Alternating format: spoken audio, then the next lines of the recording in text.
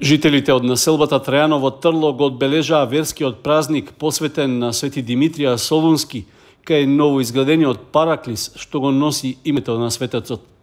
По тој повод се одржа црковно народен собор, на кој со молитви, палење свеки и други верски обреди, христијанските верници си посакаа здравје и среќа.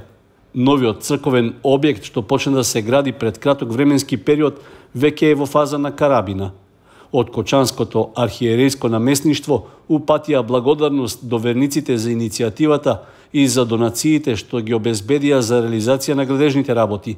Со тоа, овој дел од градот добива параклис посветен на еден од најпознатите христијански светители. За многу години Свети Маченик Димитри да ни е напомош на сите. А, ето по Божја промисла направивме параклис во спомен на Свети Великомаченик Димитри.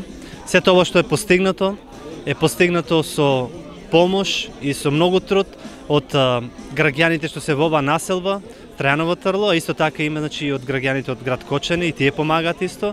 А, како што гледате, ова се направи многу на брзина со нивна помош. А, ќе треба уште малку помош да се даде, да се заврши се тоа што можеме до година, ако е здравје, за Свети Димитрија да можеме да го осветиме и да биде за едно убаво мало катче молитвено за луѓето од оваа населба. Нареден чекор ќе не биде, значи ни треба поравнителен слој, внатрешно да го спремаме за фрескописување, да го фрескописаме внатрешно и после ќе биде надворешно нели да се стави да се залепат каменчиња, да се среди за да биде убаво да изгледа доликува на еден параклис како што треба да доликува.